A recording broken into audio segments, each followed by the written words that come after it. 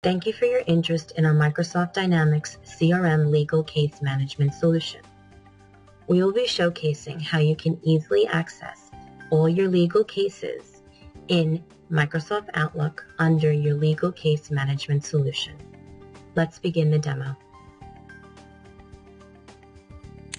Let's go to our inbox in Microsoft Outlook. Click on Legal Cases. Let's open up Travis Smith vs. County. Once you click, you can preview the legal case below directly in Outlook. Double-click to open the record in Microsoft Dynamics CRM. The record opens in Microsoft Dynamics CRM and you can easily view all the information related to this case. Click on Bureau. Here you are able to select which bureau the case is for. This case is for a tort bureau. Now let's click on case type.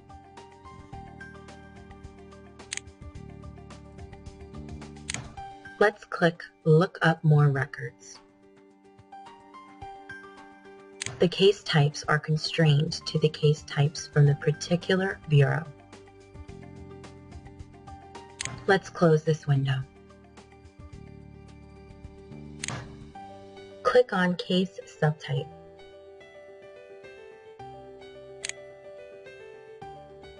Let's click on Look Up More Records. Here you can see the case subtypes are constrained based on the case type. Close this window.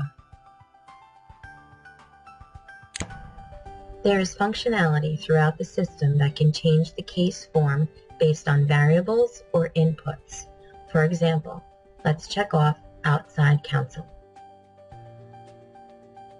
Now you have access to the outside counsel firm assisting on the case.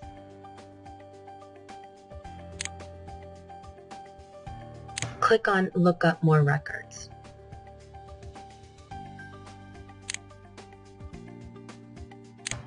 And close the window. You can also enter the outside counsel name on the case.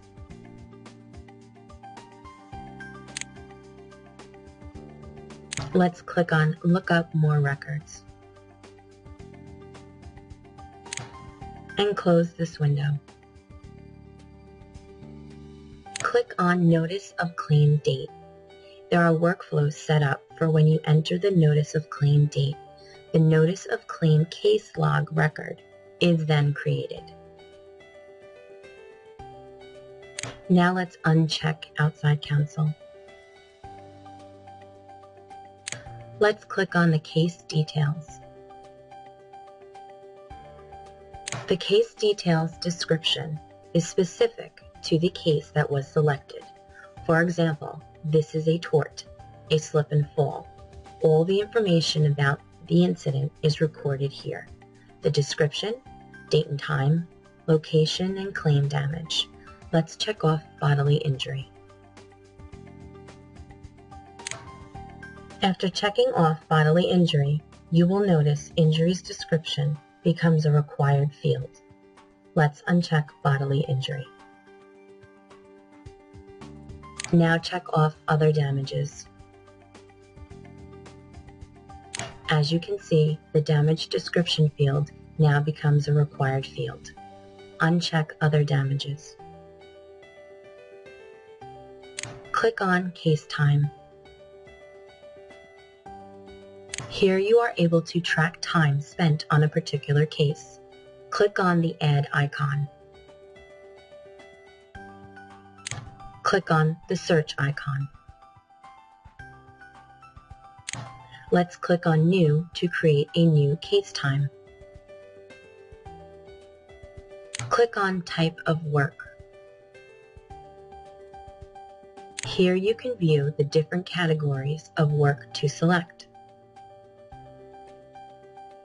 Click on Work Start Time. You can select the date and time.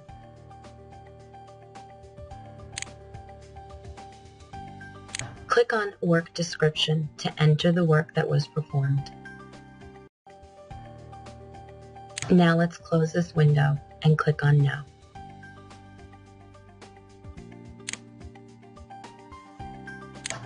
Click on Plaintiffs. All plaintiff records associated with this case will be listed here. Now let's click on Defendants. If there is more than one defendant, they will be listed here as well. As you can see, the firms are represented also. Let's scroll down. Click on Witnesses. Any witnesses related to the case are listed here. Click on Case Log. Here are all the legal events that occurred during the case. A claim record that was created on the claim date an internal investigation has occurred and is listed here as well. Any hearings that are scheduled, commencement of action, and discovery are also viewable here. Let's click on Activities. There are all the communications and tasks that are tracked during the case. Emails, phone calls, etc you are able to track all email correspondence within Microsoft Outlook. Now let's click on Documents.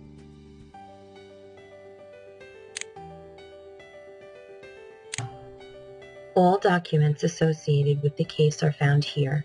Discovery, filings, evidence are all here. Click on Case Agencies. Any county or state agencies that are stakeholders in the case can be associated in this section. Click on the Add icon.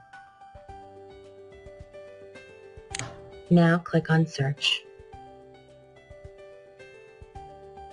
Click on Look up more records. Here you can see the list of agencies. Let's close this window. Click on Case Disbursements. All payments are tracked under Case Disbursements. Now let's click on Claimant Expenses. All expenses are tracked here under Claimant Expenses.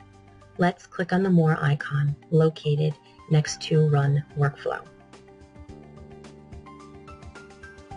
Click on Run Report. Select to run the Legal Case Summary Report. and let's expand the window. Here you have the case details, plaintiffs, defendants, agencies, activities, logs, all visible in this report. Let's scroll down to view more of the report.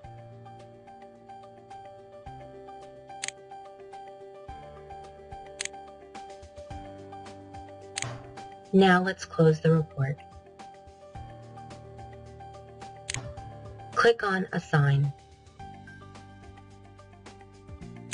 Here you can assign the case to yourself or to another user or team. Click on Search.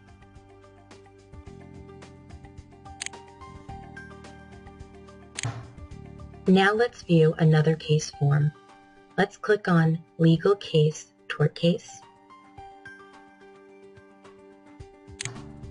Here select Lien and Recovery.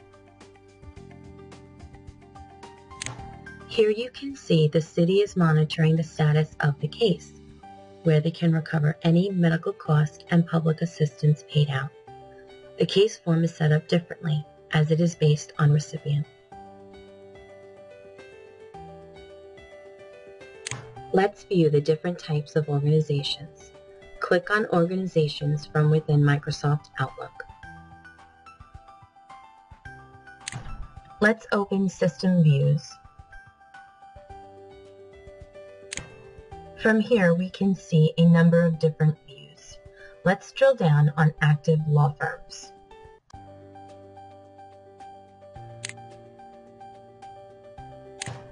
By clicking down the pin, you are able to save these views. Let's go back to our Outlook inbox.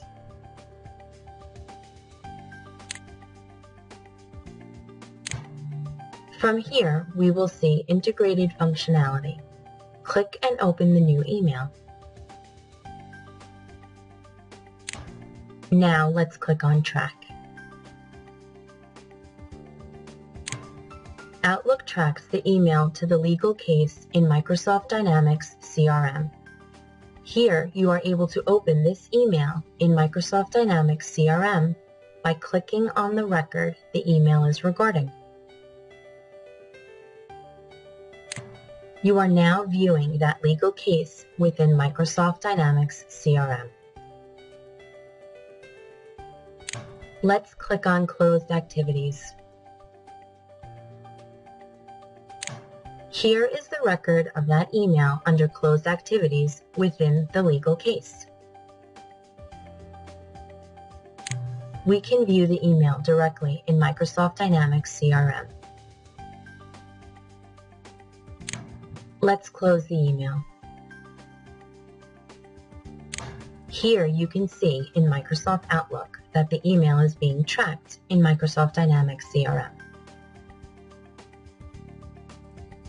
You can change the record the email is regarding by clicking on Set Regarding.